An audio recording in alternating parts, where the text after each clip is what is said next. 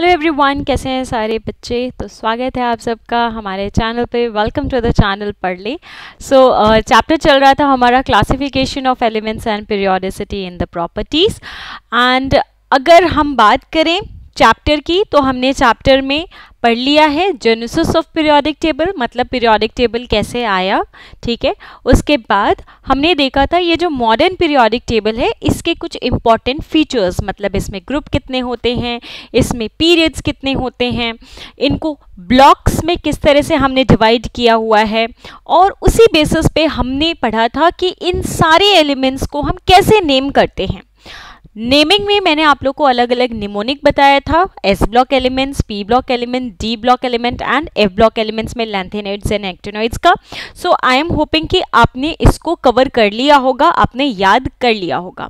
फिर हमने बहुत ही इंपॉर्टेंट चीज़ सीखी थी that is writing the electronic configuration of elements क्योंकि ये बहुत ही ज़्यादा इंपॉर्टेंट है।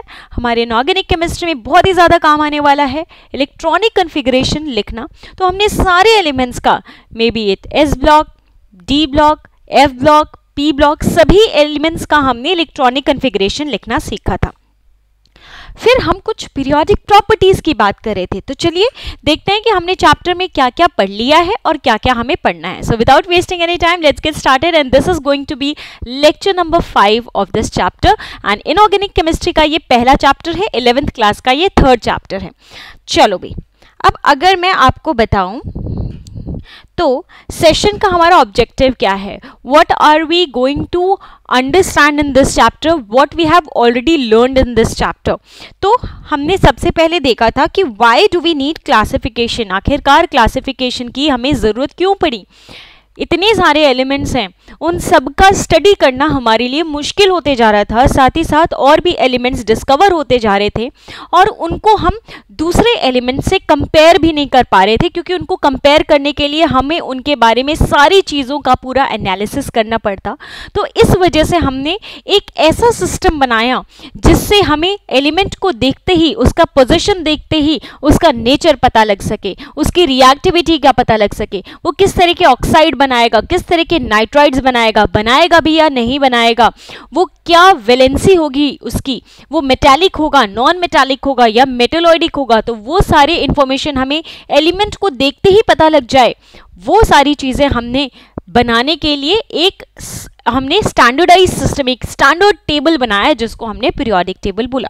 अब ये पीरियोडिक टेबल रातों रात तो बना नहीं था, क्योंकि इस पीरियोडिक टेबल को बनने के लिए बहुत सारे साइंटिस्ट आए और उन्होंने अपने अपने विचार व्यक्त किए। तो इट ऑल स्टार्टेड विद हमारे जो साइंटिस्ट हैं, सबसे पहले तो लेवोइजियर साइंटिस्ट आए थे, जिन्होंने metallic and non metallic nature के बेसिस पे एलिमेंट्स को डिवाइड कर दिया था। उस टाइम पे इतने सारे एलिमेंट्स नोन नहीं थे तो जितने भी थे, उनको हम मेटल्स एंड नॉन मेटल्स के बेसिस पे डिवाइड कर सकते थे। बाद में पता चला कि यार, कुछ ऐसे एलिमेंट्स होते हैं जो दोनों नेचर शो करते हैं। तो उनका हम क्लासिफिकेशन कैसे करेंगे? तो इसलिए वो फेल हो गए थे, फिर आए थे डोब्राइनर अब डोब्राइनर ने हमें क्या दिया था? ट्रायड्स का लॉ दिया था। ना व्हाट इज़ दिस ट्रायड तीन तीन के सेट में उन्होंने क्या कर दिया था? एलिमेंट्स को डिवाइड कर दिया था on the basis of their increasing atomic weight in such a manner that the atomic weight of the middle element was the mean और the average of the atomic weight of the two terminal atoms ठीक है, या elements अब यहाँ पर problem ये थी कि जितने भी एलिमेंट्स उस टाइम पे नोन थे, उन सभी को ये ट्रायड के रूप में अरेंज नहीं कर पाए थे। दूसरी दिक्कत ये थी कि जितने भी एलिमेंट्स नोन थे, उनमें जो हम मीन या एवरेज निकाल रहे थे एटॉमिक वेट का, बीच वाले एलिमेंट का, वो एग्जैक्टली exactly सेम नहीं आ रहा था। तो ये भी एक तरह का ड्रॉबैक हो गया, जिसकी वजह से डोब्राइनर का जो ट्रायड का लॉ था, वो फेल हो गया था। फिर दिया था न्यूलैंड ने लॉ ऑफ़ ऑक्टेव। अब इसी बात पे न्यूलैंड नाम के साइंटिस्ट आए और इसी को मॉडिफाई किया, ये बोल के कि if we arrange the elements in order of the increasing atomic mass, ठीक है? मास और वेट एक ही चीज़ होती है। तो हर पहला एलिमेंट का physical and chemical property will be similar to the physical and chemical property of every eighth element अब he was the first scientist जिन्होंने लिस्ट के फॉर्म में एलिमेंट्स को अरेंज किया था एंड उन्होंने पहले और आठवें एलिमेंट्स का रिलेशन हमें बताया था। देखो, जितने भी एलिमेंट्स का उन्होंने रिलेशन बताया था, वो बिल्कुल सही था। लेकिन उस टाइम पे जितने भी एलिमेंट्स नोन थे, उन सबको वो ऐसे ऑक्टेव के मैनर में अरेंज नहीं कर पाए थे, वो सिर्फ़ कैल्शियम तक ही ये अपना लिस्ट बना पाए थे। आगे वाले लिस्ट इसको फॉलो नहीं कर रहे थे। इसलिए न्यूलैंड का भी जो लॉ ऑफ़ ऑक्टेव था, वो फेल हो गया। फिर, आए एक और साइंटिस्ट जिनका नाम था लोथर मेयर अब Lothar Meyer was the first scientist who gave graphical representation जिन्होंने ग्राफिकल रिप्रेजेंटेशन से ये बताने की कोशिश की कि पीरियोडिसिटी क्यों आ रही है फ़िज़िकल एंड केमिकल प्रॉपर्टीज़ में? और इसके लिए उन्होंने ज़ाहिर से बातें ग्राफ ड्रॉ किया होगा। अब ये जो ग्राफ है that was between atomic weight and atomic volume atomic weight and atomic volume के बीच में ग्राफ ड्रॉ किया और उन्होंने एक बहुत ही इंटरेस्टिंग चीज़ नोटिस की। उन्होंने ये बात नोटिस की कि जो एलिमेंट्स जिनके similar chemical and physical properties थे, वो ग्राफ में सिमिलर पोजीशन को ऑक्यूपाई करे थे। फॉर एग्जांपल अगर हमारे पास आठ एलिमेंट्स हैं जिनमें similar chemical and physical property है तो वो क्या ऑक्यूपाई कर रहा था हमारा?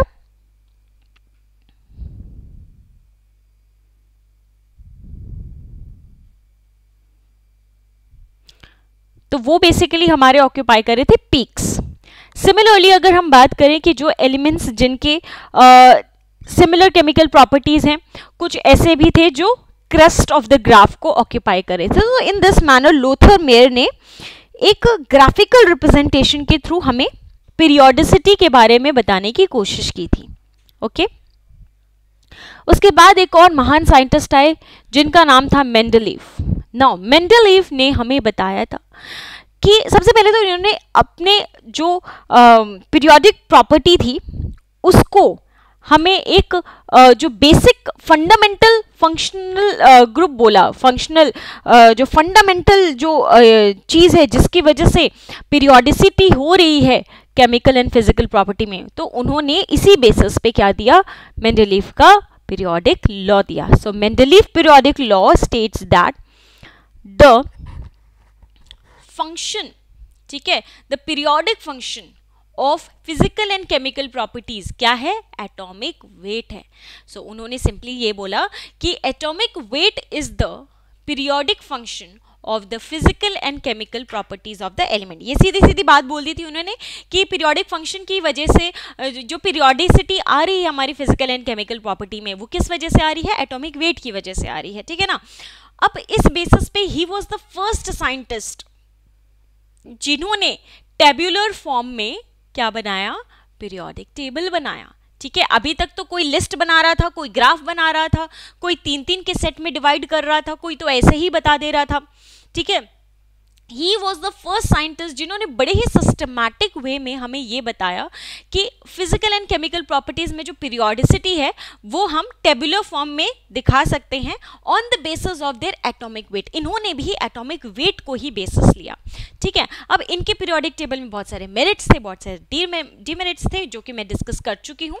अब इनका भी पीरियोडिक टेबल फेल हो गया था, क्योंकि बहुत सारे एलिमेंट्स जिनका एटॉमिक वेट इंक्रीजिंग ऑर्डर में नहीं था, लेकिन जस्ट उनके physical and chemical properties same थे, इस वजह से उनको सेम ग्रुप में रख दिया गया था। तो ये तो गलत बात थी, ठीक है? ये तो इन्होंने जो फंडामेंटल प्रॉपर्टी जो फंडामेंटल फ़ंक्शन बोला था, उसी पे ये खरे नहीं उतर रहे थे, ठीक है? और भी बहुत सारे एलिमेंट्स उस टाइम पे नोन नहीं थे, जिसकी वजह से इनका मिनरलीफ पीरियोडिक टेबल भी क्या हो गया था? फेल हो गया था हाइड्रोजन का पोजिशन भी डिसाइड नहीं था इसमें तो फिर मेनलीफ periodic table was again a failure अब साइंटिस्ट आए। कौन से साइंटिस्ट मोजले मोजले नाम के साइंटिस्ट आए और उन्होंने ये जो मेनलीफ पीरियोडिक टेबल का फेलियर था, उसको थोड़ा स्टडी करने का प्रयास किया कि आखिर ये जो मेंडलीफ का पीरियोडिक टेबल है, ये फेल क्यों हो गया? फिर उन्होंने क्या किया? इसी को स्टडी करके उन्होंने सोचा कि एक काम करते हैं हम, जो एक्सरेज होते हैं ना एक्सरेज उनको क्या करते हैं? एलिमेंट्स जो होते हैं, उनके एटम पे इन एक्सरेज को स्ट्राइक कराते हैं। ठीक है? तो जब उन्होंने ये काम किया तो उन्होंने देखा कि जो फ्रीक्वेंसी थी under root of the frequency was directly proportional to Z minus B मतलब एटॉमिक नंबर और यहाँ से एक बहुत ही इंटरेस्टिंग फैक्ट सामने आया कि जो पीरियोडिक फ़ंक्शन है, वो एटॉमिक वेट नहीं है। वो क्या है? Atomic number. क्योंकि उन्होंने जब frequency, under root of frequency और एटॉमिक नंबर में जब ग्राफ ड्रॉ किया तो ये ग्राफ क्या आया? स्ट्रेट लाइन आ रहा था। ठीक है? और इस वजह से उन्होंने ये बोला कि भाई, जो हमारा पीरियोडिक फ़ंक्शन है of physical and chemical properties it is not atomic weight but it is atomic number और जब इस बेसिस को लिया उन्होंने और जब मेनलीफ पीरियोडिक टेबल को दोबारा से देखा तो जितने भी एनॉमलीज जितने भी हमारे जो जो गलतियाँ थी रिलीफ के पीरियोडिक टेबल में, वो एटॉमिक नंबर को कंसिडर करने के बाद क्या हो गई थी? पूरी की पूरी सॉल्व हो गई थी। तो अब इसी के बेसिस पे मोजले ने जो ये बात बताई, इसी बेसिस पे मॉडर्न पीरियोडिक टेबल बनाया गया, जो कि हम आज के डेट में स्टडी करते हैं। अब इस पीरियोडिक टेबल में बहुत सारे फीचर्स थे, बहुत ही बढ़िया पीरियोडिक टेबल बना था ये। और इसमें बेसिकली आज हम इसी को स्टडी करते हैं। आज आप केमिस्ट्री की बुक खोलो या कहीं भी देखोगे पीरियोडिक टेबल तो आपको यही मॉडर्न पीरियोडिक टेबल दिखता है। इस पीरियोडिक टेबल में सेवन पीरियड्स होते हैं and there are total eighteen groups अब इन पीरियड्स और ग्रुप्स को in order of their increasing atomic number elements के इंक्रीजिंग एटोमिक नंबर के बेसिस पे अरेंज किया गया है। अब इसके बहुत सारे मेरिट्स तो हैं, बहुत सारी अच्छी बातें तो हैं कि हमें देखते ही ये पता लग जाता है कि हमारा जो आटम है या जो हमारा एलिमेंट है, वो मेटल है नॉन मेटल है या मेटेलॉइड है। हमें देखते ही ये पता लग जाता है कि इस एलिमेंट का लास्ट इलेक्ट्रॉन कौन से सब शेल में जा रहा है या कौन से शेल में जा रहा है, ये पता लग जाता है। हमें ये भी पता लग जाता है कि इसकी रिएक्टिविटी किस तरह की होगी। ठीक है, ये इलेक्ट्रो पॉजिटिव है इलेक्ट्रो नेगेटिव है।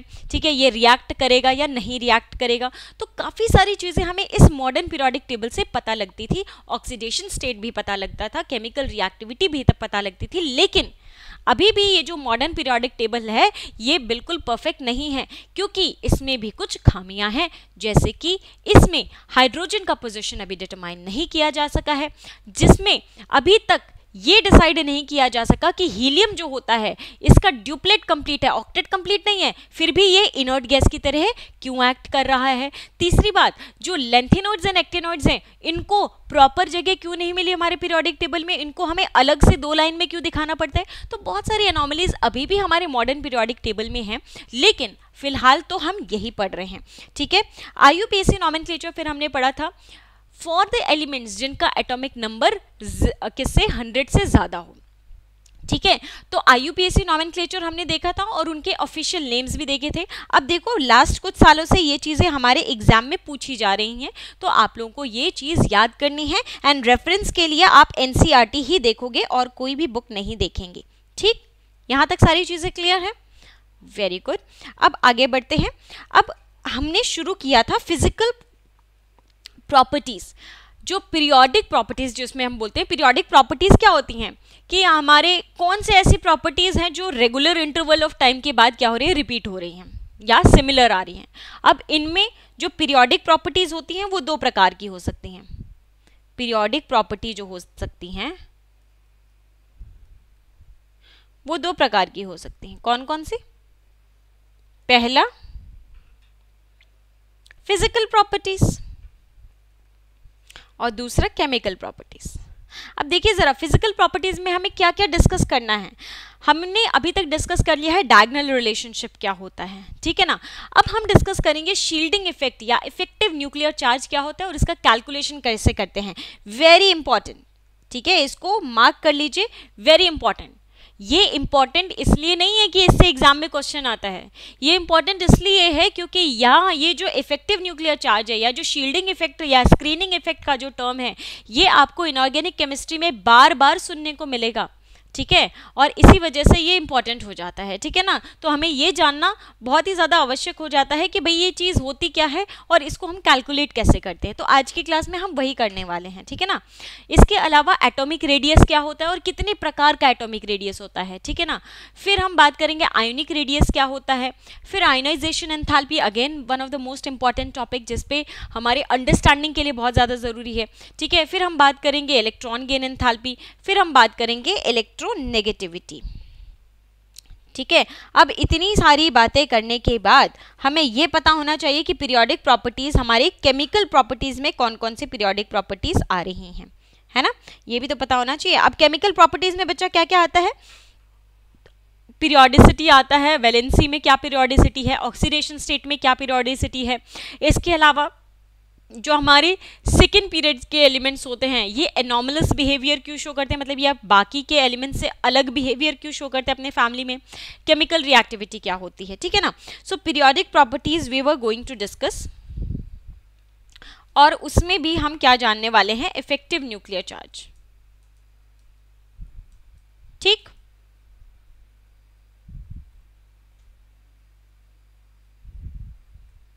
इफ़ेक्टिव न्यूक्लियर चार्ज क्या होता है, ये जानने वाले हैं, ठीक है? So periodic trends in the physical property shielding effect effective nuclear charge और शील्डिंग इफ़ेक्ट को ही हम स्क्रीनिंग इफ़ेक्ट बोलते हैं। तो आपसे कोई स्क्रीनिंग इफ़ेक्ट पूछे? इसको ऊपर लिख देते हैं। आपसे कोई? स्क्रीनिंग इफ़ेक्ट पूछे?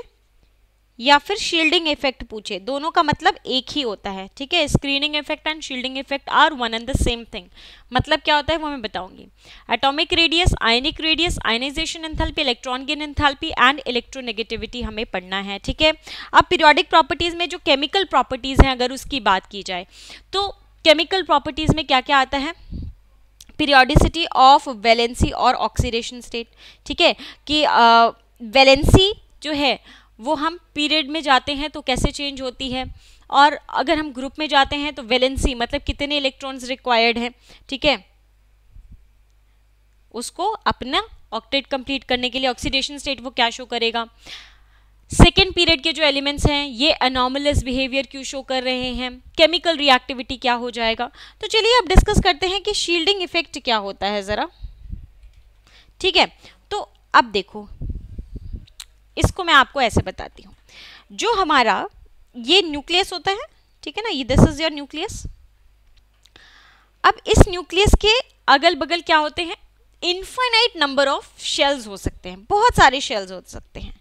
Like this this this this infinite number of shells हो सकते हैं हमारे न्यूक्लियस के अराउंड लेकिन जिन शेल्स में इलेक्ट्रॉन्स होते हैं, वो क्या होते हैं? फाइनाइट नंबर के ही होते हैं। वो ज़्यादा नहीं होते। ठीक है? वो तो क्या होते? हैं फाइनाइट ही होते। So there are only finite number of shells जिनमें इलेक्ट्रॉन होता है। ठीक? अब मान लो इसमें इलेक्ट्रॉन है कुछ।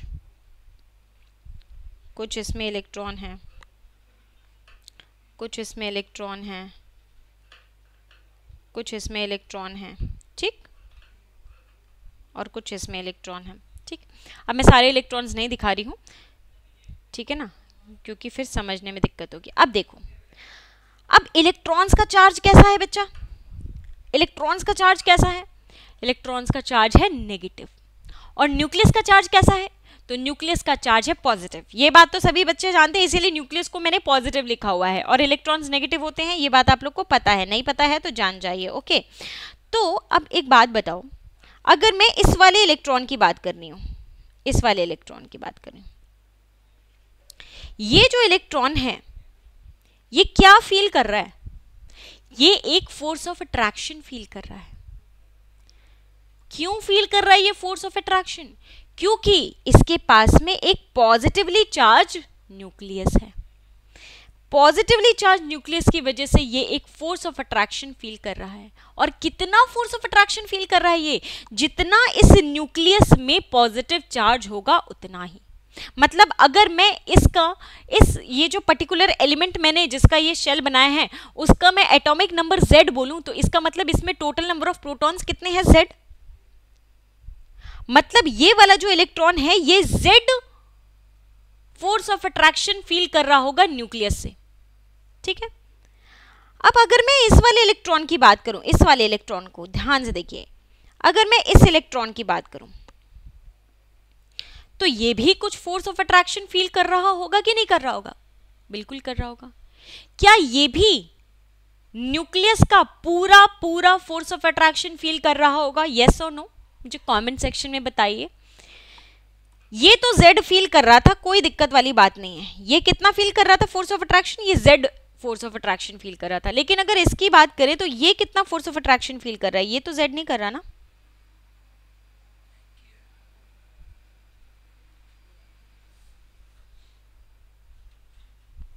ये z नहीं कर रहा। क्यों नहीं कर रहा? क्योंकि देखिए ना, बीच में इसके बहुत सारे इलेक्ट्रॉन्स हैं। इसमें, इसके बीच में बहुत सारे इलेक्ट्रॉन्स हैं। जो इस न्यूक्लियस के चार्ज को बाहर जाने से क्या कर रहे हैं? रोक रहे हैं। क्या कर रहे हैं? रोक रहे हैं। शील्ड कर रहे हैं। या फिर कह सकते हैं स्क्रीन कर रहे हैं।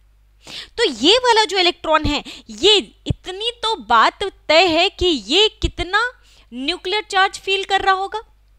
जेड नहीं कर रहा होगा जेड से कुछ कम फील कर रहा होगा। इसी को बोला जाता है effective nuclear charge effective word इसीलिए आया because it is not able to experience all the positive charge force of attraction which is present in the nucleus उससे कुछ कम, इसीलिए उसको जेड इफ़ेक्टिव बोला गया है। ठीक है? तो यहाँ पर आप लिख सकते हैं कि the electron present in the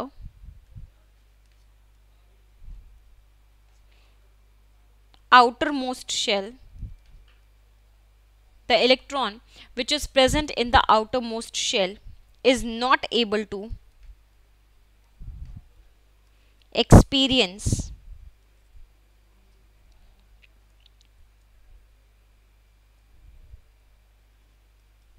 all the nuclear. Force of attraction uh, of all the it is not able to experience force of attraction of all the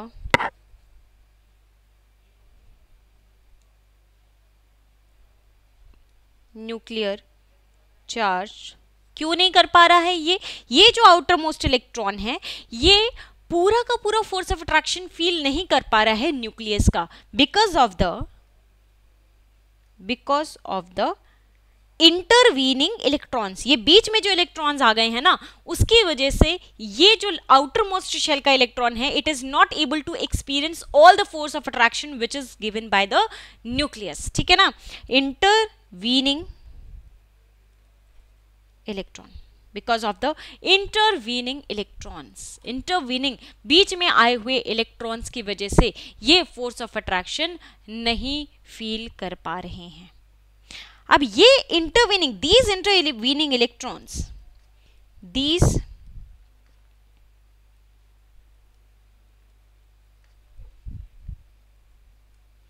these intervening electrons acts as a, shield. ये एक shield की तरह काम कर रहे हैं। ये एक ढाल की तरह काम कर रहे हैं। और a screen. Which prevents the nuclear charge which prevents the complete nuclear charge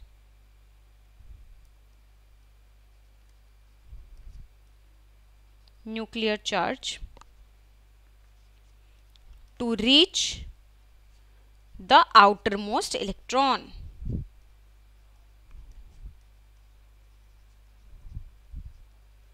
अब ये जो इंटरवीनिंग इलेक्ट्रॉन्स है they are acting as a shield ये एक ढाल की तरह काम कर रहे हैं. They are acting as a shield they are acting as a shield एक ढाल की तरह काम कर रहे हैं, जो कि इस न्यूक्लियस का जो चार्ज है, इस न्यूक्लियस का जो चार्ज है, वो आउटर मोस्ट शेल में जाने से क्या कर रहे हैं? रोक रहे हैं। पूरा का पूरा आउटर मोस्ट शेल में जाने से क्या कर रहे हैं? रोक रहे हैं। इसी को शील्डिंग इफ़ेक्ट या स्क्रीनिंग इफ़ेक्ट बोला जाता है। This phenomena is known as this phenomena is known as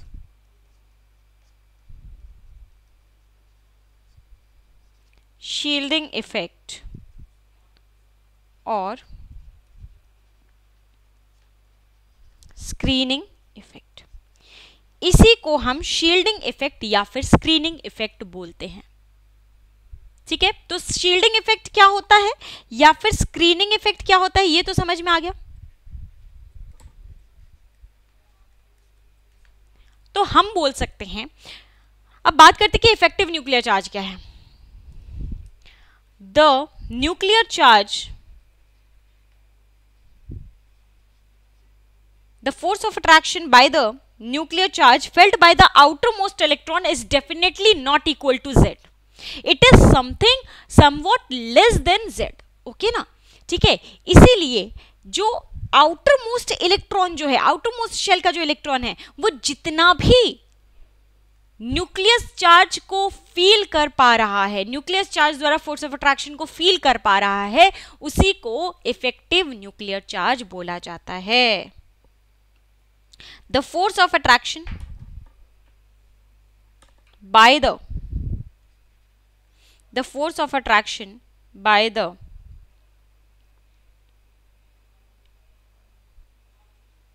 nuclear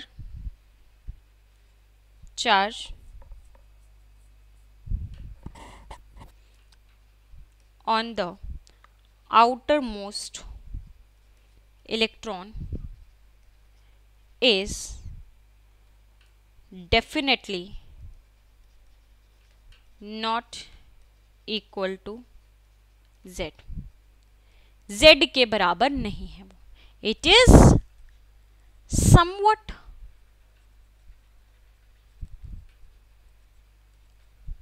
less than Z वो जेड से कुछ कम है।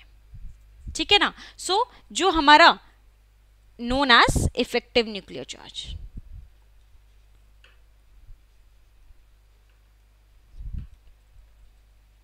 nuclear charge and it is represented by Z effective तो मैं बोल सकती हूँ कि Z effective is Z minus something अब इसी समथिंग को हम क्या बोले? ये समथिंग आया किस वजह से? शील्डिंग इफ़ेक्ट की वजह से आया, या फिर स्क्रीनिंग इफ़ेक्ट की वजह से आया। इसी समथिंग को हमने क्या बोला है? स्क्रीनिंग कांस्टेंट यही समथिंग जो है, ये क्या है? सिग्मा जिसको हम स्क्रीनिंग कांस्टेंट बोलते हैं। तो मैं बोल सकती हूँ कि z effective is z minus sigma z effective is z minus sigma.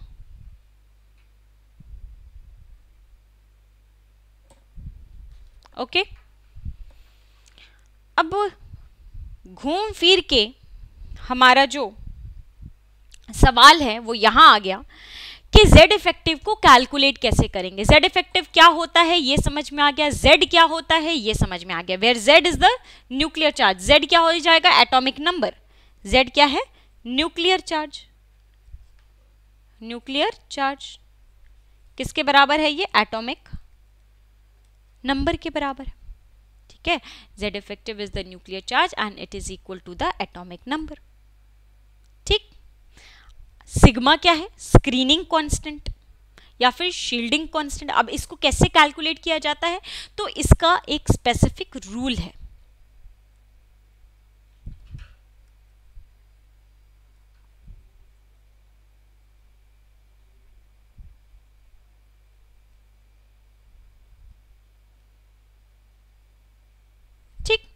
तो यहाँ पर पहले तो देख लो कि due to the shielding effect of the nuclear charge ठीक है? Due to the shielding effect the nuclear charge is lowered on the outermost shell electron the net nuclear charge acting on the outermost shell is known as effective nuclear जो net charge हमारा, जो outermost shall feel कर पा रहा है, उसको हम effective nuclear charge बोलेंगे, ठीक?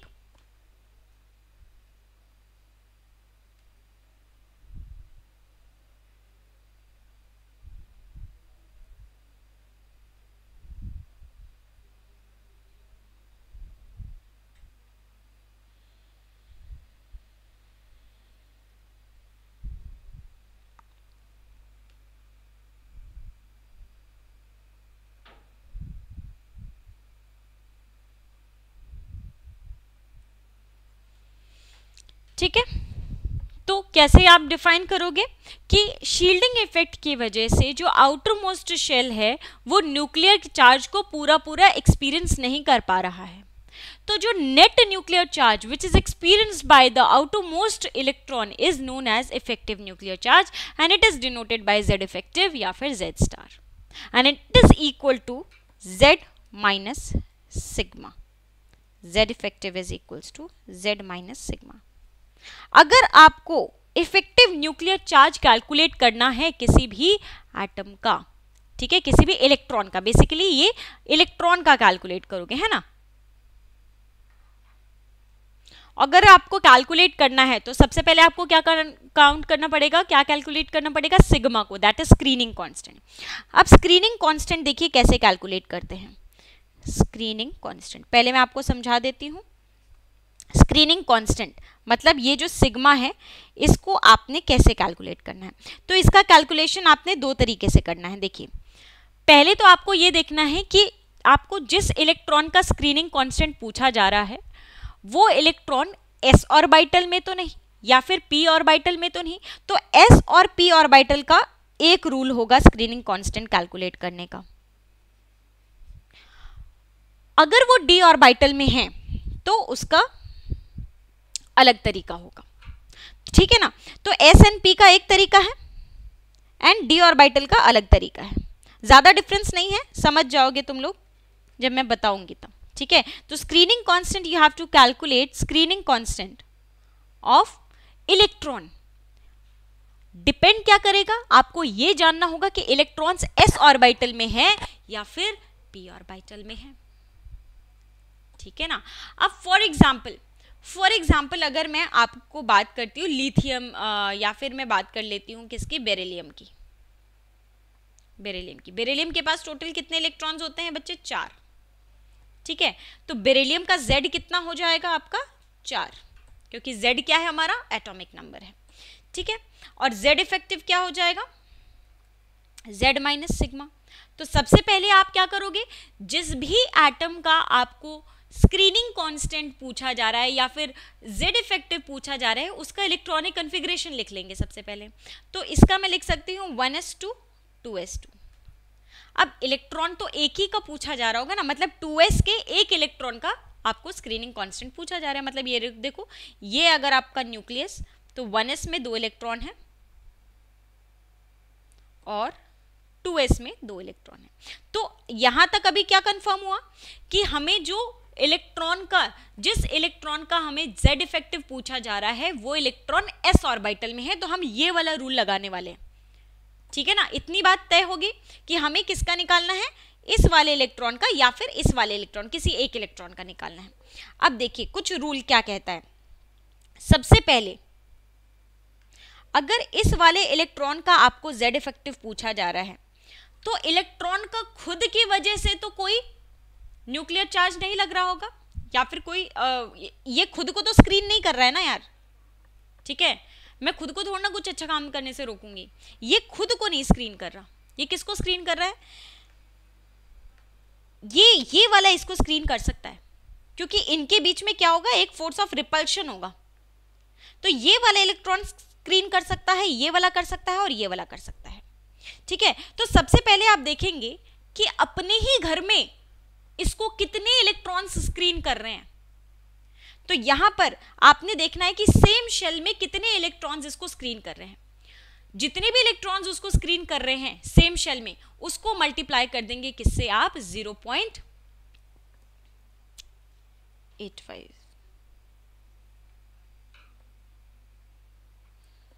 zero point three five multiplied by electrons in the same shell ठीक है? अच्छा इसके अगल बगल भी देखो, इसके आगे भी कई सारे इलेक्ट्रॉन्स होंगे। मतलब शेल्स होंगे, अभी तो है ही नहीं इलेक्ट्रॉन्स लेकिन अगर इलेक्ट्रॉन होते तो क्या इन इलेक्ट्रॉन्स की वजह से कोई शील्डिंग इफ़ेक्ट लगता या स्क्रीनिंग इफ़ेक्ट लगता? नहीं। तो अगर, चलो मैं फिर से बताती हूँ। यहाँ पर देखो, सबसे पहले आप क्या देखेंगे? देखो, सबसे पहले आपने जिस भी आटम का पूछा जा रहा है, उस आटम का इलेक्ट्रॉनिक कन्फिग्रेशन लिख दिया। ठीक है? ठीक है? क्या लिख दिया? बेरेलियम का पूछा जा रहा था। तो बेरेलियम में आपको Z माइनस सिग्मा निकालना है। Z आपको पता है, Z is the atomic number मतलब फोर मतलब फोर माइनस समथिंग आंसर आ रहा है। अब ये समथिंग दैट इज़ हमारा स्क्रीनिंग कॉन्स्टेंट कैसे कैलकुलेट करेंगे? सबसे पहले तो अगर उसके आगे वाले शेल में कुछ इलेक्ट्रॉन्स हैं उनकी वजह से कोई स्क्रीनिंग इफ़ेक्ट नहीं लग रहा है। ठीक है? इसमें तो खैर है ही नहीं लेकिन अगर होते तो इनकी वजह से कोई स्क्रीनिंग इफ़ेक्ट नहीं लगता। ठीक है ना? तो अभी मैं आपको बोल रही हूँ टू वाले इलेक्ट्रॉन का निकालिए। लेकिन अगर मैं वन वाले इलेक्ट्रॉन का पूछ रही होती तो वन वाले इलेक्ट्रॉन का कोई स्क्रीनिंग इफ़ेक्ट नहीं लगता टू की वजह से क्योंकि वो क्या है? उसके बाद में है। ठीक है? इनके बीच में नहीं आ रहा। ठीक है? सो so, सबसे पहले आप देखेंगे कि इलेक्ट्रॉन्स ठीक है, जिनका n greater than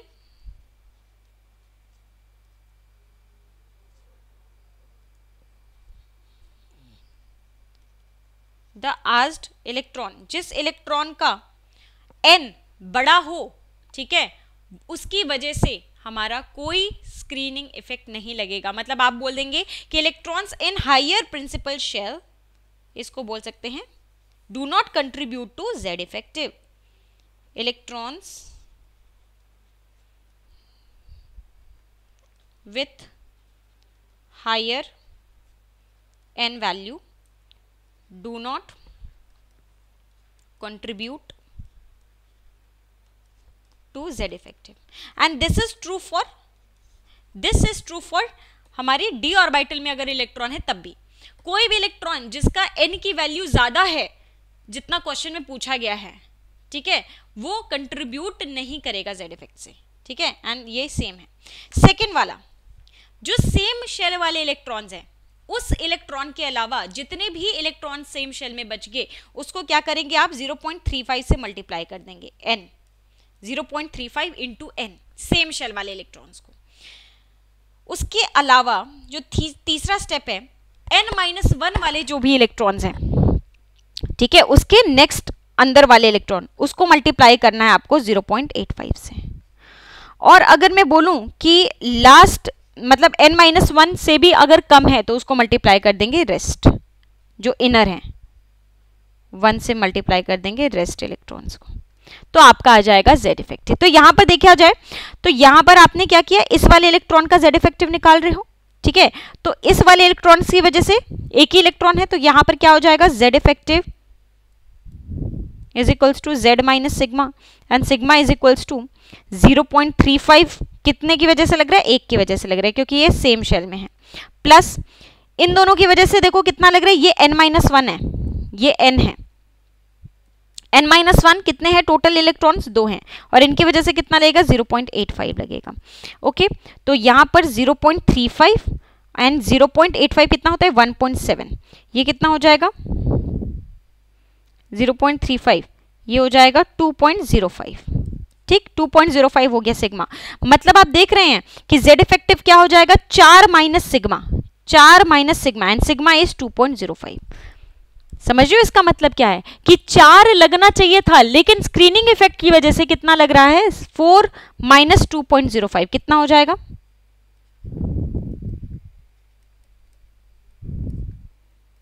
दस, ये जाएगा पाँच में, ये जाएगा नौ में और ये जाएगा three point nine five so ये हो जाएगा one sorry three one point nine five कितना हो जाएगा इसका? One point nine five this becomes the Z effective for electron, outermost electron of beryllium. Similarly, अगर यहाँ पर देखा जाए तो यहाँ पर देखा जाए तो d ऑर्बिटल के लिए क्या हो जाएगी कहानी कि जो इलेक्ट्रॉन्स ठीक है हायर प्रिंसिपल शेल में है, या हायर प्रिंसिपल क्वांटम नंबर है जिनका क्वेश्चन में दिया गया, वो कंट्रीब्यूट नहीं करेगा जेड इफ़ेक्टिव से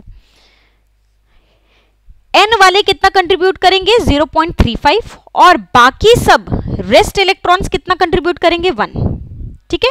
फॉर एग्ज़ाम्पल अगर मैं स्कैंडियम स्कैंडियम नहीं आ, मैं मान लेती हूँ टाइटेनियम टाइटेनियम में टोटल कितने इलेक्ट्रॉन्स होते हैं? 22 अगर मैं इसके आउटर मोस्ट शेल का इलेक्ट्रॉन का जेड इफ़ेक्टिव निकालना चाहूँ तो मुझे पता है कि जेड कितना है इसका 22 सिग्मा मुझे कैलकुलेट करना है. और सिग्मा किसमें आ रहा है? डी ऑर्बिटल में आ रहा है. कैसे?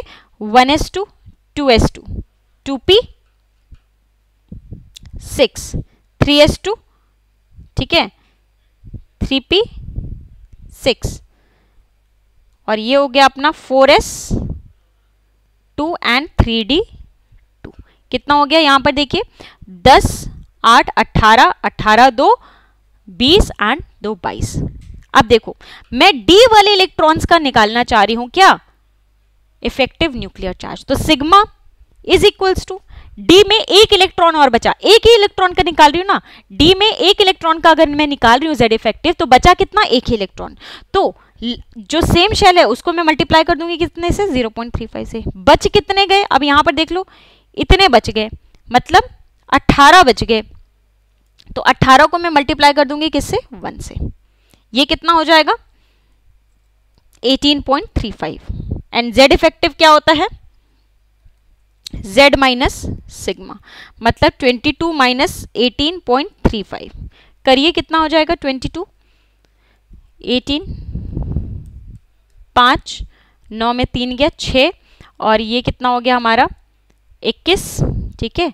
21 गया 11 में, ये जाएगा तीन तो 3.65 हो जाएगा हमारा आंसर z इफ़ेक्टिव कितना आ गया इसका? 3.65 समझ में आ रहा है? ठीक है ना?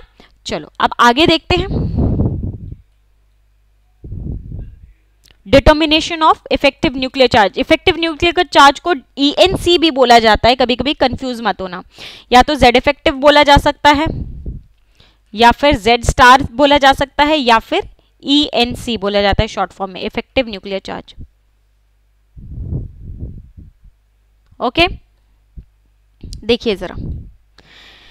इफ़ द इलेक्ट्रॉन जो मैंने बताया, वही यहाँ पर बताने वाली हूँ, ठीक है? If the electron is in S और पी ऑर्बिटल अगर हमारा जो इलेक्ट्रॉन है, वो एस या पी ऑर्बिटल में है तो electrons in principal shell higher than electrons in the question given question वो ज़ीरो कंट्रीब्यूट करेंगे जेड इफ़ेक्टिव के लिए। मान लो, अगर ये है मेरा, ठीक है? अब इसमें कुछ इलेक्ट्रॉन्स हैं, इसमें कुछ इलेक्ट्रॉन्स हैं, इसमें कुछ इलेक्ट्रॉन्स हैं इसमें कुछ इलेक्ट्रॉन्स हैं, इसमें कुछ इलेक्ट्रॉन्स हैं, इसमें कुछ इलेक्ट्रॉन है। और मैंने आपसे सवाल पूछा कि इस वाले इलेक्ट्रॉन का इफ़ेक्टिव न्यूक्लियर चार्ज बताओ। तो क्या इन सब का कोई कंट्रीब्यूशन है? न्यूक्लियर चार्ज को शील्ड करने में नहीं। ये तो इसके बाद है ना। जो न्यूक्लियस और इसके बीच में आ रहे हैं, वो कौन से हैं? वो ये सब हैं। और साथ में इसके घर में भी एक बैठा हुआ है जो इसको रिपेल कर रहा है। तो जो जिनका, जो क्वेश्चन में पूछा गया है, उस सेल उस उस शेल से हाइयर शेल वाले कंट्रीब्यूट नहीं करेंगे इफ़ेक्टिव न्यूक्लियर चार्ज में। तो ज़ीरो टू सिग्मा ठीक? Each electron in the same principal shell जो सेम प्रिंसिपल शेल है जो अपने ही घर में उसका घात लगाए बैठे हैं जो फोर्स ऑफ़ रिपल्शन करके उसका इफ़ेक्टिव न्यूक्लियर चार्ज कर, कर रहे हैं उसको मल्टीप्लाई कर देंगे 0.35 से ठीक? 0.35 से मल्टीप्लाई कर देंगे।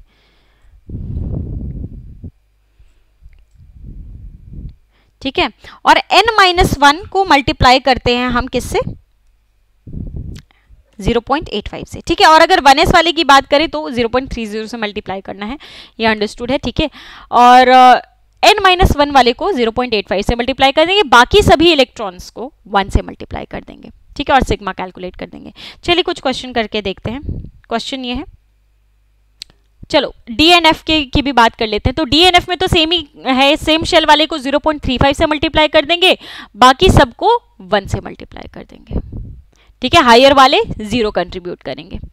ठीक? एन माइनस वन या lower multiply by one okay चलिए, हमसे बोला जा रहा है टूपी इलेक्ट्रॉन फ्लोरीन के टूपी इलेक्ट्रॉन का क्या कैलकुलेट कीजिए? इफ़ेक्टिव न्यूक्लियर चार्ज तो फ्लोरीन का एटॉमिक नंबर कितना होता है? जेड होता है। तो जेड uh, कितना होता है? नाइन होता है। तो कैसे इसका पहले तो इलेक्ट्रॉनिक कन्फिग्रेशन लिखना मैंने आप लोगों को बताया था। देखिए नाइन होता है तो क्या लिखेंगे? वन एस टू और हमें टू वाले इलेक्ट्रॉन का निकालना है। समझिएगा टू वाले इलेक्ट्रॉन का निकालना है। तो एन वाले कितने इलेक्ट्रॉन्स बच गए? एक तो चार इलेक्ट्रॉन इसमें बच गया। क्योंकि एक इलेक्ट्रॉन को तो हम निकाल ही रहे हैं, बाकी बच गए इसमें चार इलेक्ट्रॉन और दो इलेक्ट्रॉन इसमें बच गए। मतलब एन में कितने बच गए? छह इलेक्ट्रॉन्स बच गए। और हम पी ऑर्बिटल की बात करें तो छह को मल्टीप्लाई कर देंगे किससे? 0.35 से। प्लस कर देंगे। बाकी एन माइनस वन वाले कितने बच गए? दो बच गए। तो दो को मल्टीप्लाई कर देंगे किससे? 0.85 से। ठीक है? तो ये हो जाएगा 1.7 प्लस 35 6 ये हो जाएगा 30 ये जाएगा हमारा 18 में 18 और इक्कीस। Two point one. कितना हो गया ये? Three point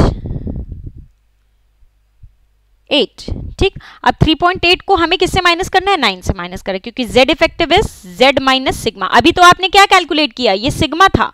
this is your sigma तो 9 से माइनस कर देंगे 3.8 को। चलिए माइनस करते हैं 9.0 3.8 यहाँ पर आएगा दो, और ये जाएगा सात में तीन आठ में तीन गया कितना? 5.2 तो the answer is 5.2 the answer must be 5.2 ठीक? कर लेंगे नेक्स्ट क्वेश्चन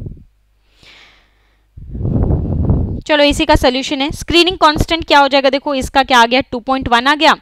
और दो हमारे 2p वाले इलेक्ट्रॉन 2s वाले इलेक्ट्रॉन्स हैं, उसका 2 into zero point eight five one point seven आ गया। ये कितना आ गया? 3.8 आ गया। 9 में से माइनस कर देंगे 5.2 आ गया। नेक्स्ट क्वेश्चन है हमारे पास। देखो, बढ़िया क्वेश्चन है। What is the effective nuclear charge at the periphery of nitrogen atom? When an extra electron is added during the formation of anion compare the z effective when the atom is ionized तो यहाँ पर आपको F minus का और F plus का Z effective को compare करने को बोला जा रहा है चलिए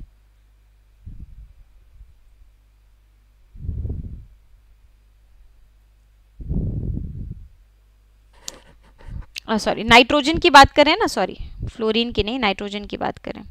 तो यहाँ पर आपको नाइट्रोजन है मतलब N माइनस और N पॉजिटिव का जो Z इफ़ेक्टिव है, उसको कंपेयर करने को बोला जा रहा है। तो Z ऑफ़ नाइट्रोजन सेवन होता है। ठीक है ना? Z ऑफ़ नाइट्रोजन कितना होता है? सेवन होता है। N माइनस हमें Z माइनस सिग्मा निकालना है। Z effective is Z minus sigma तो एन माइनस का इलेक्ट्रॉनिक कन्फिग्रेशन लिखेंगे, कितना हो जाएगा? देखो, आठ electron that is one S two two S two two P four ठीक? अगर मैं आउटोमोस्ट शेल का निकालने जाऊँ तो सेम शेल में कितने बच जाएँगे? तीन इलेक्ट्रॉन इसमें बच गया और दो इलेक्ट्रॉन इसमें बच गया। मतलब सेम शेल में कितने इलेक्ट्रॉन बच गए? फाइव इलेक्ट्रॉन और पी और बाइटल की बात हो रही है तो सेम शेल वाले इलेक्ट्रॉन्स को किससे मल्टीप्लाई करूँगी? 0.35 से। तो 5 इंटू ज़ीरो बाकी क्या बच गया हमारा? ये। Two into zero point eight five. ये आ गया one point seven, five into zero point three five कितना हो जाएगा? देखो, ये जाएगा पच्चीस में, ये जाएगा पंद्रह पंद्रह, दो, सत्रह, वन पॉइंट सेवन फाइव। तो यहाँ पर आ गया आपका, दोनों को ऐड कर लो। कितना हो गया? पाँच, ये जाएगा चौदह में और ये आएगा थ्री में। तो थ्री पॉइंट फोर फाइव, ये आपकी वैल्यू आ गई सिग्मा की। जेड इफ़ेक्टिव क्या हो जाएगा? Z माइनस सिग्मा मतलब नाइट्रोजन का z कितना होता है? सात minus three point four five कर लो minus three point four five ये जाएगा पाँच में नौ में जाएगा पाँच में आएगा और अगेन uh, ये कितने में जाएगा? छः में जाएगा तो तीन three point five five three point five five किसका आया? N माइनस का. अब n पॉजिटिव का निकालते हैं। N पॉजिटिव के पास कितने इलेक्ट्रॉन्स हो गए? सात इलेक्ट्रॉन थे एक इलेक्ट्रॉन और चला गया कितने बच गए? छह electron one S two two S two two P, two. ठीक, छह इलेक्ट्रॉन्स हो गए। सेम शेल में कितने इलेक्ट्रॉन बच गए? एक इलेक्ट्रॉन ये और दो इलेक्ट्रॉन ये। टोटल सेम शेल में कितने इलेक्ट्रॉन बच गए? तीन इलेक्ट्रॉन तो सेम शेल वाले इलेक्ट्रॉन्स को किससे मल्टीप्लाई करते हैं? एन को किससे मल्टीप्लाई करते हैं? 0.35 मतलब 3 इंटू ज़ीरो और बाकी बच गया ये तो उसको एन माइनस वन वाले को किससे मल्टीप्लाई कर देंगे? 0.85 से। ठीक है? तो ये हो गया हमारा 1.7 और ये कितना हो गया? 0.35 मल्टीप्लाइड बाई थ्री पंद्रह और दस। दैट इज़ 1.05 ये हो जाएगा 75 दैट इज़ 2.75 सिग्मा कितना आ गया? 2.75 okay so this is the sigma for N positive तो जेड इफ़ेक्टिव क्या हो जाएगा? z माइनस सिग्मा मतलब सात minus two point seven five तो यहाँ पर आप देख सकते हैं कि z इफ़ेक्टिव 7.00 2.75 देखो, यहाँ पर आ गया पाँच, यहाँ पर गया आपका नौ, दो माइनस, ठीक है, और ये हो जाएगा आपका छः माइनस दो फोर पॉइंट टू फाइव अच्छा मुझे एक बात बताओ, क्या पता लग रहा है कि नंबर ऑफ़ इलेक्ट्रॉन्स अगर कम हो रहे हैं तो न्यूक्लियस का जो चार्ज है वो और स्ट्रांग होता जा रहा है. देखो, यहाँ पर आपने इलेक्ट्रॉन बढ़ाया मतलब इलेक्ट्रॉन और रिपेल करेगा न्यूक्लियस के चार्ज को. ठीक है रिपेल मतलब आ, नहीं आने देगा हमारे इलेक्ट इलेक्ट्रॉन के पास। यहाँ पर इलेक्ट्रॉन कम किया आपने तो न्यूक्लियर का चार्ज पावरफुल हो गया। ठीक तो यहाँ पर आपने देख लिया कि जेड इफ़ेक्टिव का क्या हाल था ओके अब अगर हम बात करें कि इफ़ेक्टिव न्यूक्लियर चार्ज का क्या ट्रेंड है हमारे पीरियोडिक टेबल में क्या देखने को मिल रहा है? तो देखिए अगर मैं पीरियड की बात करूँ सेम पीरियड में मैं जा रही हूँ तो नंबर ऑफ़ शेल्स क्या रह रहे हैं? सेम रह रहे हैं। नंबर ऑफ़ शेल्स क्या रह रहे हैं? सेम रह रहे हैं। लेकिन न्यूक्लियस में जो चार्ज है, वो बढ़ता जा रहा है। ठीक है, समझ में आ रही है बात? मतलब number of shell n n minus one या फिर एन माइनस वन के बाद वाले सारे, वो सब क्या है? सेम है। सेम पीरियड में। ठीक है तो सिग्मा भी लगभग सेम आएगा। क्या बोल रही हूँ? एग्जैक्टली सेम नहीं आएगा, लगभग सेम आएगा। लेकिन z बढ़ता जा रहा है। तो z अगर बढ़ रहा है तो z effective is z minus sigma sigma almost क्या आ रहा है? बराबर आ रहा है, क्योंकि n सेम है, n माइनस वन सेम है। ठीक है, ज़्यादा इलेक्ट्रॉन्स की हेराफेरी नहीं हो रही है। Z बढ़ता जा रहा है तो z इफ़ेक्टिव भी क्या होगा? बढ़ेगा। समझ में आ रही है बात? अगर ये बढ़ रहा है और इसमें कोई खास चेंज नहीं आ रहा है तो ये भी बढ़ेगा ना? Effective nuclear charge Z increases rapidly along the period 0.65 पर नेक्स्ट ग्रुप हर ग्रुप में कितना जाके बढ़ जाता है? 0.65 से बढ़ जाता है। क्योंकि z बहुत तेज़ी से बढ़ रहा है सेम शेल में। एग्ज़ाम्पल अगर देखा जाए तो यहाँ पर देख सकते हैं आप लिथियम में कितना आ रहा है? 1.3 आ रहा है। बेरिलियम में कितना आ गया? 1.95 बोरॉन में, कार्बन में, nitrogen, oxygen, fluorine and neon में इफ़ेक्टिव न्यूक्लियर चार्ज बढ़ता जा रहा है जब आप लेफ़्ट से राइट right जा रहे हैं। क्योंकि नंबर ऑफ़ शेल सेम है और न्यूक्लियस में चार्ज बढ़ता जा रहा है तो जेड इफ़ेक्टिव भी बढ़ता जाएगा, काफ़ी ड्रास्टिकली बढ़ता जाएगा। लेकिन अगर मैं पीरियोडिक टेबल में ग्रुप्स में बात करूँ तो ग्रुप में क्या हो रहा है? तो ग्रुप में इतने तेज़ी से नहीं बढ़ेगा, क्योंकि देखो जेड तो बढ़ रहा है, वो भी बात सही है। Z इंक्रीज हो रहा है। लेकिन z के साथ साथ हमारा जो सिग्मा है, वो भी बढ़ रहा है। क्यों? क्योंकि नंबर ऑफ़ शेल जो है, वो बढ़ रहे हैं।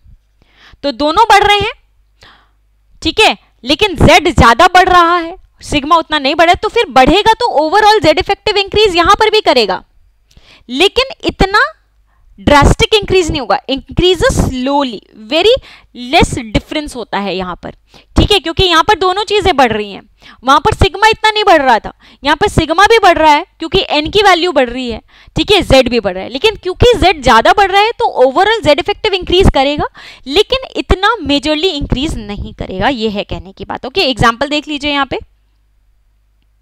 देखो, ऊपर से नीचे आ रहे हैं फ़र्स्ट ग्रुप में helium lithium hydrogen hydrogen lithium sodium potassium rubidium and caesium तो यहाँ पर देखा जाए हाइड्रोजन का क्या है? वन लिथियम का 1.3 2.2 2.2 2.2 2.2 देख रहे हो इफ़ेक्टिव न्यूक्लियर चार्ज ऑलमोस्ट बराबर है.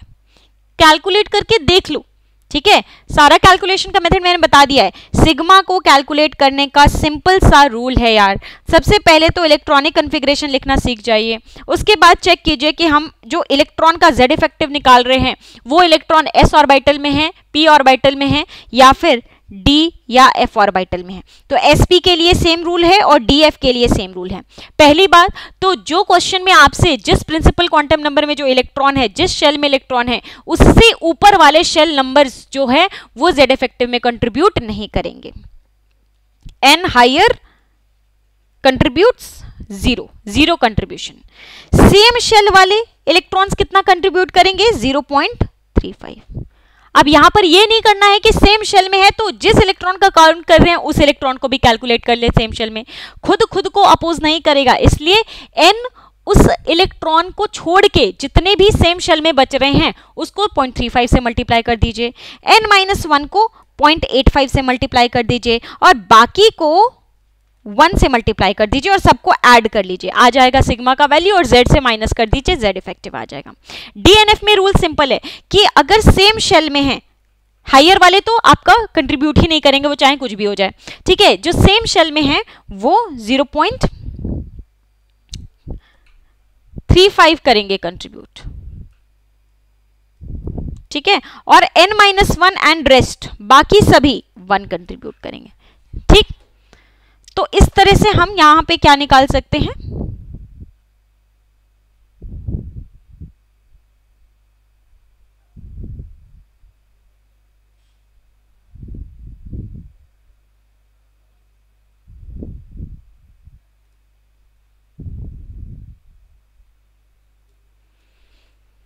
ठीक है?